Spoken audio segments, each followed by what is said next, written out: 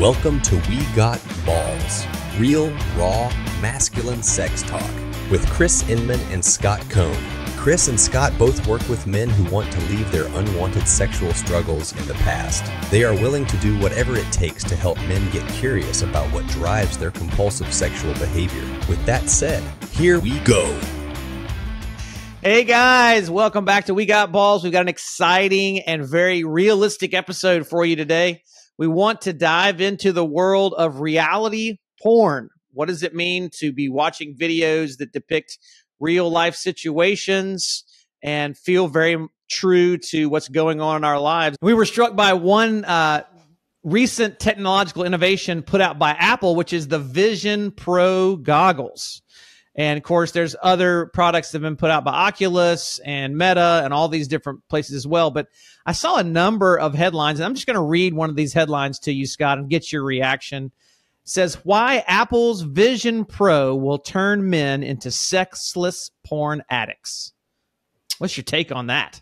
Well, um, it's an interesting headline because when I think about guys wearing Apple Pro and using it to kind of get in, immersed into, uh, you know, a first person perspective user experience, they're going to be having sex. It'll just be with themselves. So, oh, so virtual sex, I guess, is what you're saying. It'll be either you know they'll be masturbating or they'll put something on their penis, and and it will seem like it's a sexual experience with maybe a real person on another uh, continent, something like that. But but it's going to be um, it'll be sexual. It just won't be in person sexual. So yeah.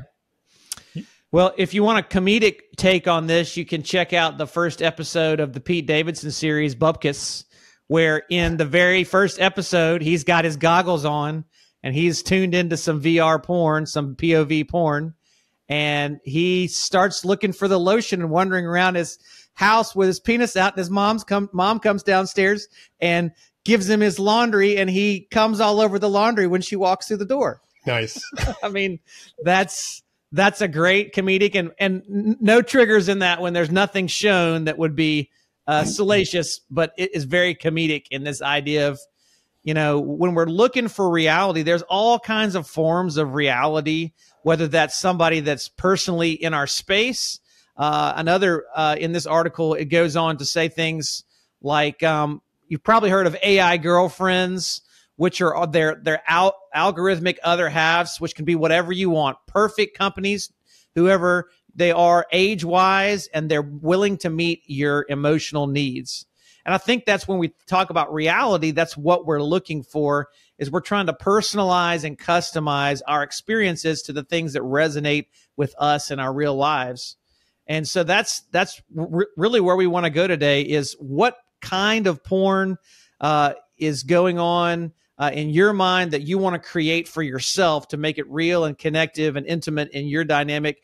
And what are the things that are going on behind that that are harmful or broken or uh, or, or traumatic even that could be shaping those desires for you sexually? Yeah. So let's um, let, let's just kind of set the stage here for this discussion today because this category of reality, you could also call it amateur. You could also call sure. it homemade. Um, it's pretty broad. Like it could encompass what about sexting? That's reality. If I send a picture yeah, of my yeah. penis to somebody and they send a picture of their vagina or their penis to me, that's a real life situation. What about camming? That's reality. What about OnlyFans? Because it seems like there's a real connection there with a real person. So that mm. it's a pretty broad category. And frankly, we're going to do episodes on OnlyFans. We're going to do an episode on uh, sexting because it's extremely prevalent and there's some real um, dangerous, actually, situations going on in sexting. For example, sextortion is really. I sent uh, you this article yesterday about a new app that's out there that's really hooking a lot of younger folks, and and it's it's uh, there's a sexting scam going on where you send a picture of your body, your penis, whatever, to them and then they turn around and extort money from you and there are kids that actually have committed mm-hmm. suicide over this in the last six months so it's yes. it's extremely yes. sad it's extremely uh, dangerous for for younger people in particular to get involved in these things, and we want to provide that kind of helpful information. But it, the point is, this category is pretty broad. So today we're going to limit the discussion to just pornography, and, and in particular, video pornography that is mm-hmm. portraying what seems to be realistic sexual scenarios by real people. Okay. So mm. this category here's here's just the fascinating data on this again referring to our Pornhub year in review annual yep. report. Um, yep, our our encyclopedia of porn that we come back to over and over again. Uh, amateur is the 11th most viewed category in the mm. world. So on Pornhub, the number one uh, tube video site for pornography in the world, this is the 11th most viewed category. Um, it was the um, or it's the it's in the, the it it is uh, amateur porn is the 11th most viewed category in 2022. Yep. However, it was the top gaining category for the year. So it experienced the greatest growth over all the categories on Pornhub.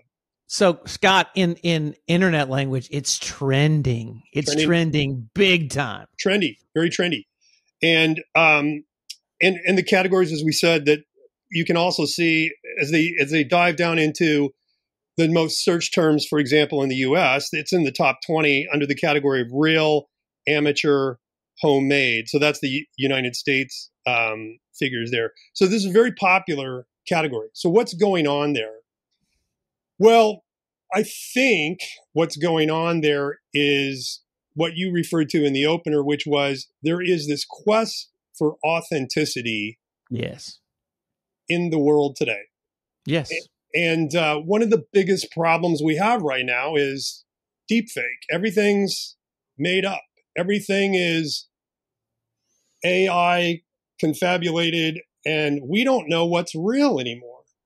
Mm. And so, in the midst of all this uncertainty about is that news item real? Is that picture of that celebrity naked real? Is this real? What you know? Um, and and the deep fake is so good now. You could take our pictures from our faces and put them out there and do a deep fake of us doing whatever you want. Um, yeah, you could so, do a fake podcast based on the podcast we've already done. Just take the video, rip it up, and just have fake Chris and Scott and talk about whatever you know, I like that idea actually. yeah, a lot of people are. But I think I think it's important to say this, especially on this topic, is there is no way that a computer, no matter how good it gets, and I'll just say this as prophetically as I can, can ever approximate what it feels like, what it smells like, what it touch, what the touch is like to be with a real human being. There is no artificial intelligence that can Im- imitate that. And when we're talking about reality porn, I think that's really at the heart of what we're looking for. I'll go back to the very that very first story that I read on our very first episode um, of this podcast. And what I found in my searches very shortly was some scenarios of people in real life situations. Of course, they were porn actors, but they were playing it as amateur actors um, in real life scenarios that that were clumsy, that were awkward. There wasn't really great, you know, the dialogue's never good, but it was about this visceral human connection.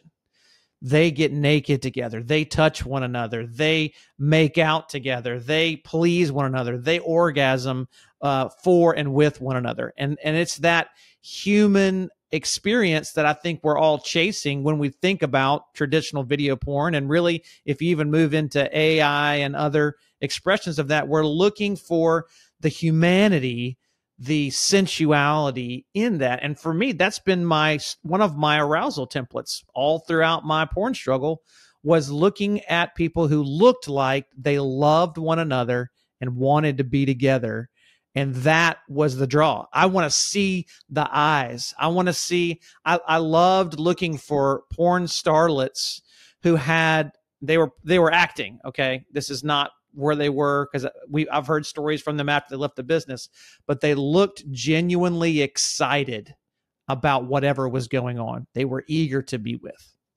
So, yeah, that brings up this really interesting thought and that is that so much of what drives human connection is shown in our faces, right? Yes, yes. And so, um, which is why you know the uh, bukkake, where the guy ejaculates in the girl's face, or a group of guys does it, is a really popular porn genre because you're seeing the woman's face as the yep. guy is experiencing his orgasms.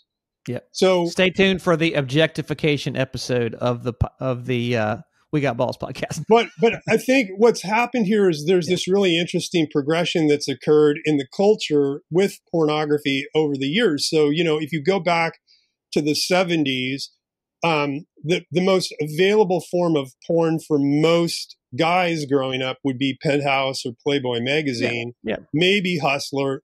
You could, if you were risky enough, you could go down to a dirty newsstand in your town and buy, you know, really graphic magazines, but Sure. But it was fairly limited in the number of pictures that were in there. So the content's limited. You're paying for it. You know, it's it's it, there. There are all these barriers to entry.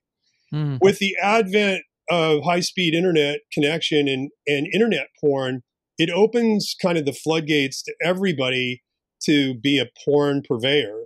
And mm. that's what you see happening is I don't think it mm-hmm. created more sexually uh, broken people. I think it just tapped into the sexual brokenness that we're all yeah part of, right? For sure. For and sure. so now it's available. So it's it's available, it's affordable, and it's ubiquitous. I can I can get it anytime I want to. Um, any mo- anything that I want to see is available, and so there's this explosion now of users who normally would have never been exposed to pornography. Like like in the 70s, if you wanted to see video porn, you had to go down to a dirty theater. You know, we all knew yeah.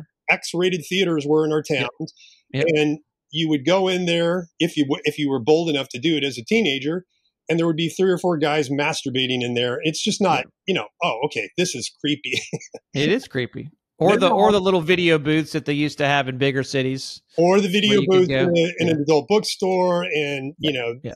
people go there and they're having sex so so that scares off most people most people are not going to get exposed but now that you have it and when it started to become available on vhs it starts to make its way in. Then cable starts to make its way, and now the internet just explodes, and it's everybody's got it on their phone. So the porn industry has a heyday. They make a ton of money off of this, but the porn industry is fueled by actors. Yes, They're people that are portraying people having sex. They're and they're actually having sex. But let's get behind the scenes for a minute and everybody knows this by now, is those guys that are in pornography have abnormally large penises. They're not yep. selected because they have short penises. Um, they have, you know, ripped, muscly bodies. They're they're the epitome of what somebody sees as an alpha male, for example. The, the female actresses the, are, are petite. They're super small because it, it it makes everything look larger and uh, they they have to continually uh, diet and take pills and do things to create an artificial tightness. And even the sex acts themselves are staged. If you were to look at, and I'm not asking anyone to go check this out, but use your memory banks. Look at the positions that people get put in for the camera angle of sex during pornography. It is not natural. It is literally like it's like if you put them up against a wall and squished it apart that's what it takes to be able to show the penetrative acts or the or the objectifying acts that they go through yeah uh, so and one more thing what's the worst part about a porn set scott? Have you heard, have you heard this before? No. Curious, the smell. The smell. Really? Universally when you talk to people who've gotten out of the industry and you ask them about the worst experiences that they have, they say, I walk into a house or I walk into a set. Usually it's rented houses that they use, borrowed houses. And they say the the bodily um, secretions create this kind of musty, yucky smell. All the oils and all the things that they have to use to get in that place. And it says it is disgusting. Hmm. So you're having sex for hours, hours on end with a, a noxious smell to create something that feels real. But I think in this, why we're talking about this is there are segments of the population who they'll, they'll record their own sex acts.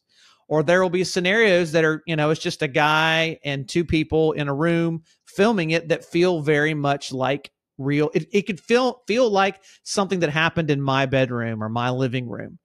And that the arousal in that is this is accessible for me. The the fantastical porn sets at the beautiful houses with the big big dicked men and the lar- the busty tiny women out in the infinity pool in the middle yeah. of Los Angeles during the day.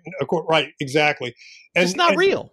And all the guys are taking Viagra. Their erections yep. never fade during sex. Right. Um, they always ejaculate and shoot across the room. It's ridiculous. Oh, and it takes them 20 minutes to get there. And it takes them 20 minutes to get there. Nobody ever has premature ejaculation. No. Nobody no. has any venereal disease. And I've heard that too is that yeah. You know, everybody gets tested in the porn industry, but oftentimes the ladies will have infection, vaginal infections, and and yeah. it's not. And these people don't know each other. They'll come on the set and they're actors. So, oh, you're going to have sex with this person today. So let's get to that point because it's acting. And when we have a version, and again, I, I don't want to be naive. There are actors that do reality stuff but usually it's what I just described. It's two actors that go into a room or go to a bedroom and they have a, a, a camera person that are literally filming them have sex. So it feels more real, but really what we're chasing in this, I, I'm I'm convinced, is something that's accessible to me. What can I experience with the people in my life or long to experience the people? I mean, really, this is probably the most connective and intimate version of porn that's out there because it can imitate real relational dynamics potentially. Okay, now here's the question. There's something in physics known as the Heisenberg principle of uncertainty, and it has to do with the position of quantum particles in a science experiment. Wait, hold on. We just went into the physics podcast. I, I, I just lost half of what you said. What are you talking about? I'm going to make a relationship here. Like, go with okay. me. Da- Bring it back. down this rabbit trail. So, in the Heisenberg principle, uncertainty is you can never know the position of a particle until you measure it. But what they have found out in the experiments is the act of measuring actually changes the behavior of the particle. So, I apply that to amateur homemade sex by asking mm. the question when you put a camera in mm-hmm. front of your sex act and you record yep. it, am I actually seeing real behavior or am I seeing staged behavior? Yes, staged behavior. Yes. Even as an amateur. Absolutely. So, and, and I'll tell you, I'll tell you how I know this. Um, I have watched uh, online and other places interviews with people who are porn stars. They do porn. And they will draw a line, many of them, very strongly between my porn performance on camera and my personal life. And they're very, very protective of their own humanity in saying, I don't do the things that I do on screen ever in my, like my sex life outside of, uh, of the studio is very vanilla because I want, and they've said this verbatim, I want the human connection. I want to be with my partner. I want to feel loved and connected with them and feel nurtured and cared for and have the sensation of desire as a human being. And that's impossible to get with a camera in the ring. So I'm going to go back to my point that I think I was trying to make and I totally forgot about, which was so much of this is communicated in the face. Can you yes. actually act out true desire? I don't think you can. Oh, we we we have a there's a rabbit hole discussion here that we're gonna have to come back to, but I'll introduce it. I think when we talk about what does it mean, again, we, we talked about it in the in the title of the article, sexless, sexless porn, right? I think when people come to use porn for a substitute for true intimacy and love and nurture and care, they can't fake it completely, but I can't see it completely. So we're both blinded in some way.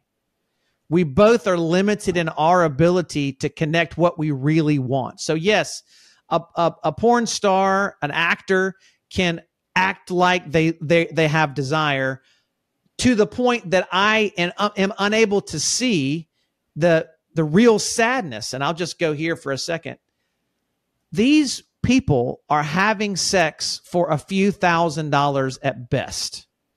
They're spending a day showing every part of their human body. And I love the human body, it's beautiful, but letting other people use it, tell them what to do with it, put bodily fluids on it, manipulate them, use them as a puppet for a few thousand dollars because that's in their mind the best way to make money. It's a sex they're being used as sex toys. It's completely objectifying, right? Absolutely. So in that acting and that portraying desire, I I don't as someone who's broken and has struggled in the past, I don't have the ability in my own uh, emotional damaged intimacy ways to see the full picture of what's going on. I'm just seeing, as I did at 16, 17, 18, I just see a naked woman and I want to use her. And I watch videos and I watch other people use her and I fall into the trap. What we're talking about, Scott, is the very heart of why We Got Balls exists because we're all looking for something greater. And, and most of us, I would say everybody who struggles with compulsive porn use and sexual compulsion, struggles to see the humanity, the beauty, the goodness in other people, and to grieve where others are unable to see that in themselves as they're offering themselves up as sex objects. Yeah. So this is why I think it is impossible to act through desire. So yeah. I, I was an actor in college. I was a pretty good actor. That's that was my trajectory as I was going to go be a movie star. But take take Reese Witherspoon for example. Mm-hmm. Yep. She she has trained so well that in a scene she can act out surprise. Yep. Right? Yep. So she can act surprised. Oh, thanks for the flowers. She knows how to move her facial muscles and her eyes and her expressions and her gestures to communicate surprise with her body. Yep. But if Reese Witherspoon is actually surprised, she cannot suppress a true emotion from showing on her face. Mm. Mm. Nobody can. Why? Mm. Because emotion is communicated subconsciously. Hmm. Yeah. We, we read we yeah. read the state of one another in the face. Yes. So there's something in CGI known as the uncanny valley where CGI artists try to emulate the human face with computer graphics. Mm-hmm. And they have not been able to bridge, I don't believe yet, this uncanny valley. And the uncanny valley so much has to do with the gaze of a person, with the yes. structure of the muscles around the eyes. Because when you look at computer generated images, and a great example of this is Polar Express, which probably everybody has mm-hmm. seen. When you look at Tom Hanks or the little boy's eyes, they look like doll eyes. They mm. look lifeless, like a shark's mm. eyes. mm-hmm. Yes. Right. Thanks. But but you cannot communicate through graphics yet or AI true human connection through the eyes. And you know, in, in the book of Psalms, David says this famous line. He goes, "Keep me as the apple of your eye." Mm. What what he was saying to God there is, when I see your face, I want to see that you're delighting in me, God. That's yeah. what it means to be the apple of somebody's eye. Like I look in your eye and I see me in your eye, but that means mm. I see your delight in me, your affection. Sure. I don't think you can act that out. I don't think you can act that out as an amateur if you're having sex with your wife in front of a camera or if you're masturbating in front of a right. camera. But, I think, but Scott, the reality is this I would love to live in that ideal world, and I try to. But for much of my adult life, I chased an illusion of reality, an illusion of desire, and used it as a substitute for the lack of desire and the lack of intimacy in my own life. Yeah. Why? Why? Why do people um, do that? I mean, you know, yeah, you we can talk about these fantastical, over the top productions of sexuality, and and those are interesting. But I think ultimately, when it boils down, we're all looking for something that will mirror us an experience in my day to day. and and reality porn in my opinion is the closest thing to that whether amateur homemade um, mutual you know boyfriend girlfriend husband wife whatever that is that you know w- what are the what are the key pieces of this reality dynamic that draw people in well i think it goes back to your family system and yeah. you know that quote from Kurt Thompson, the Christian um, psychiatrist that we keep using in the podcast, which is, "I came into the world looking for somebody looking for me." Yes. And when I don't find him in my home, mm. I'll go looking outside. And so many of us grew up in homes where there was nobody looking for us. We would mm. look at the face of our mom and dad, and they would look away in disgust or they wouldn't look at us, or they weren't even there, or they looked at us with a harshness and a sternness. And it was just a sense in my body that I don't belong here. I'm not yeah. wanted. I'm not desired.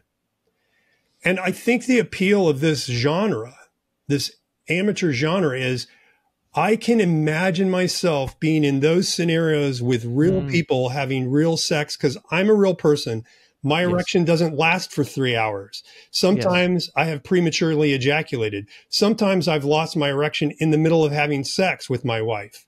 Mm. But nobody's showing that even in amateur porn. Right.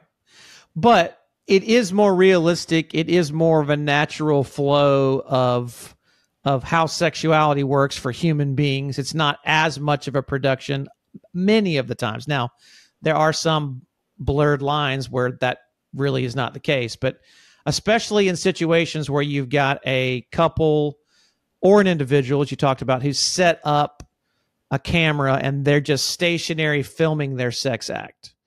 That that experience of reality is about as close as you're going to get to being, and we haven't even touched on this, a voyeur in the room, absorbing some of that energy, some of that love and connection, right? So th- th- those are the two psychological dynamics in terms of what is really going on with this category that I think have to be addressed, which is voyeurism mm-hmm. and exhibitionism, right? Mm-hmm. What is mm-hmm. voyeurism? Voyeurism is I get sexually aroused and gratified by watching others have sex. All yep. porn is voyeuristic. That's right. Every time you masturbate to porn, you are training your body and your mind to be a voyeur. Yeah to be a third party participant, not a first party participant in sex. So yeah. um, Andrew Huberman has talked about this. Jordan Peterson has talked about this, but that's what porn does is it trains you not to be a live participant in sex, but to, to have sex with yourself while you're watching other people have sex. Yes. But when I take it to the next step, which is I want to display my body, I want to show myself having sex mm. with me and my spouse or my partner, whatever. Now I've gone to the degree of I am so desperate to be looked at, to be received with delight mm-hmm. that I'm willing to put it all out there. Yes. And when those two things come together, you're not getting more connection. Mm-mm. You're getting more fake connection, which leaves you feeling more empty on both sides of that equation. You're getting more shame. That's what you're getting. You're getting a greater shame. experience of shame. And we already have enough shame around our bodies and our sexualities mm-hmm. to go around. What happens is we end up acting out that shame in these forms of pornography. Yeah. And what makes porn and compulsive sexual behavior and sex addiction so powerful is that compounded and compressed shame that has come year after year. It started for us when we were kids in whatever dynamic that we grew up in. And I, I had it, and Scott, you had it, and and I would argue that almost every person on the face of the earth has it in some way, but when it gets compressed and unseen, the silence around what we really struggled with, we took it to a place where we could find a reflection of the shame because they're doing things that are shameful on screen. I mean, there's a reason why it's it's not legal to have sex in public. Because it's not something that will ultimately connect human humanity together. It's never been an approved practice in the history of human culture. you you do not show nudity and sexuality. You can be nude in public which is a different thing but sexuality in public because it brings about this inner experience of shame. That's how we're, we're wired. I'm sorry. We can't get around that. But we move into this stacking and stacking and stacking and stacking and stacking of shame. And you know this as well as i. When i when i work with guys who are in this space the problem is not their behavior. The problem is they've stacked the shame for decades sometimes. And it takes weeks, months, and years of kindness, of curiosity, of of having um, a gentle perspective on what's going on in here for me to be able, for you to be able to let some of that shame go and begin to see the pain in the faces of the women who are performing in porn the the the loneliness of the men i mean I'm convinced that the reason a lot of guys struggle to keep erections d- as porn performers is because they know they're literally a stud on a stud farm and it, they mean nothing. Yeah. Um, to put a finer point on it, when you're looking at, you know, professionally produced porn, you're looking at real brokenness in staged display. Yeah. When you're looking at homemade amateur porn, you're looking at real brokenness and pretty close to real life display. Mm. But that dynamic of taking a camera and putting it out there changes the valence of the relational connection, even if it seems real. Mm.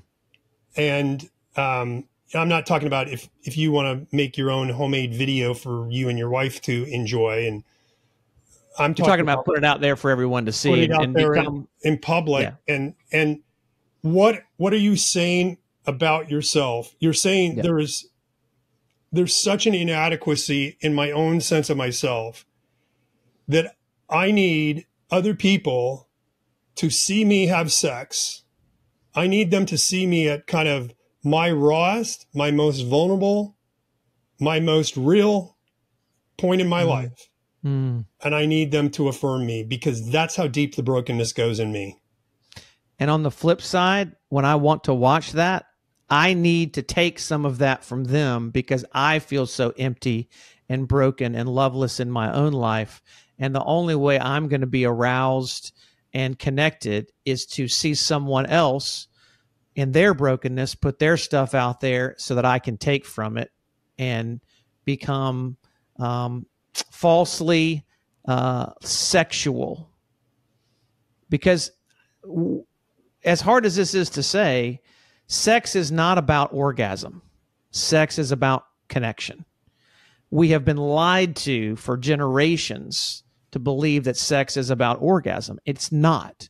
Orgasm is the icing on the cake of the of the connection, which is the human experience that we all long for. The word sex itself comes from Latin secare. It means to be severed.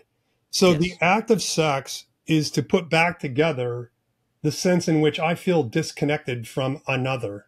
Yep. Yep. Right. And and and that's I think for us, Scott. I think you know we like you said at the beginning we could literally take this in a hundred different directions and so we want to put a pin in it for today and um, just invite you guys that if this is a space where you struggle uh, to ask yourself this question what what am i really looking for? When i'm turning on the computer and when i'm putting in these words that arouse me what what are you really looking for? And stop for a minute to give yourself some grace and say i don't need to be ashamed in asking that question. I need to be curious to go where did it come from? How can i be kind to myself and understand that what I want sexually is actually a cry for help in my soul for true connection. Right. And so that, that this approach of being curious and kind and just be just be open with yourself about why does this turn me on so much? Like mm-hmm. what is really going on here? What am I it's not just about I'm horny and I have to have an orgasm or I can't get rid of this erection so I just got to do this. It's about why this? Why this particular genre? What is mm-hmm. it about this what is it doing for me? And don't mm-hmm. say it's not doing anything for me. It is. It's doing something for you or you wouldn't keep doing it. So how does it make you come alive?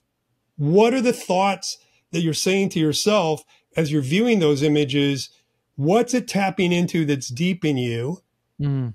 And how come you have to go to this to get it? Why can't you just get it in your normal life? If you'll trace those stories back, it's going to start to unravel some things that haven't made sense in your life. And it's going to start pointing you in a direction where you can actually maybe think about dealing with the issues that are driving the problem or the pornography is the symptom. It's your solution. It's not really your problem but what's the problem? It's by that approach of being curious about what is this doing for me? How's it helping me? Going back to being honest about that and not judging yourself um, and just going to the well i'm just aroused. I'm just horny no be curious yeah absolutely so we want to keep engaging uh, with you. Check out uh, future episodes coming your way. Uh, we're also on uh, TikTok. So if you want to catch some clips at we got pod um, at, on TikTok, you can watch those there. Share them with your friends. Love to invite more people into the conversation. And uh, it's always great to be with you. Uh, so this is just reminding you guys to approach your sexual arousal with curious and kindness, just like we do on We Got Balls. And so do you. Don't forget to subscribe for more episodes. You can connect with Chris at pornfreemasculinity.com and with Scott at sexcessfulmen.com.